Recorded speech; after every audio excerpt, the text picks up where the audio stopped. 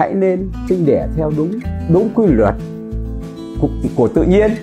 Kiểm soát thân trọng chúng ta tốt hơn. Hạn chế tiêu thụ bằng những cái chất mỡ mỡ động vật. À, có thể nói là ung thư vú cũng giống như là tất cả những loại ung thư khác là có thể phát hiện sớm được sẽ tăng hiệu quả điều trị.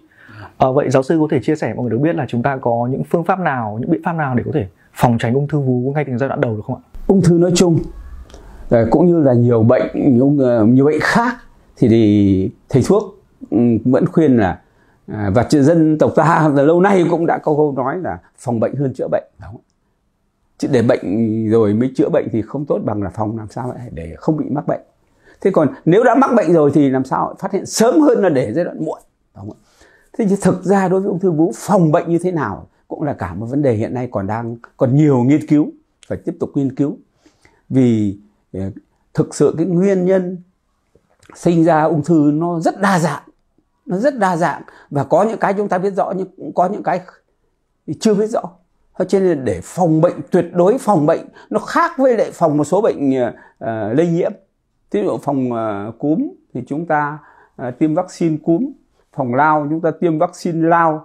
Phòng uh, bây giờ đang covid đúng không ạ? Chúng ta phòng covid bằng cách là cũng sẽ đang hy vọng sắp quý 2 tới chúng ta có vaccine hay, hoặc là phòng tránh bằng cách à, không tiếp xúc đeo khẩu trang rồi à, cách ly vân vân thì nó đơn giản hơn nó rõ ràng. Nhưng mà đối với ung thư thì nó nó là cái bệnh đa nguyên nhân. Nó rất nhiều nguyên nhân cho nên là nhiều có cái biết mà có cái chưa biết. Cho nên vấn đề đặt phòng bệnh ung thư vú nó, nó riêng hoặc là phòng bệnh một số bệnh nó cũng chỉ ở cái mức độ là hạn chế bớt cái nguy cơ mắc bệnh thôi.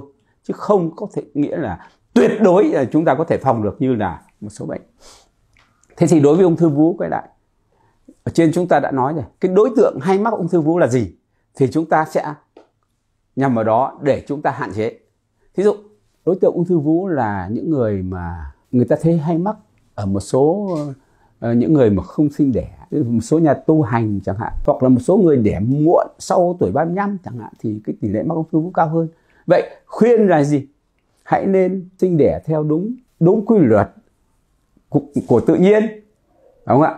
Phụ nữ thì đến tuổi uh, lấy chồng uh, rồi sinh con thì đừng đừng đừng để cao tuổi quá rồi mới đẻ. Cái nguyên nhân không sinh đẻ làm cho tăng cái tỷ lệ ung thư vú thì chúng ta phòng bằng cách là chúng ta sinh đẻ ở cái lứa tuổi trẻ hơn dưới 30 đừng để cao tuổi quá thì có thể là làm tăng lên một chút cái nguy cơ ung thư vú. Cái thứ hai những người tăng trọng lượng béo phì cũng làm tăng nguy cơ ung thư vú.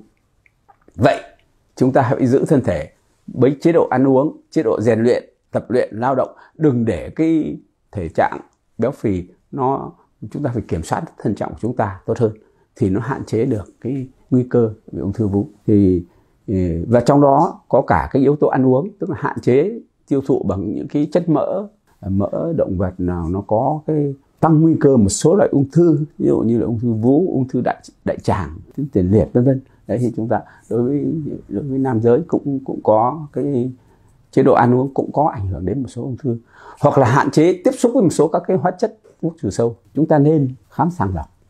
Trên 40 tuổi nên khám sàng lọc để phát hiện sớm.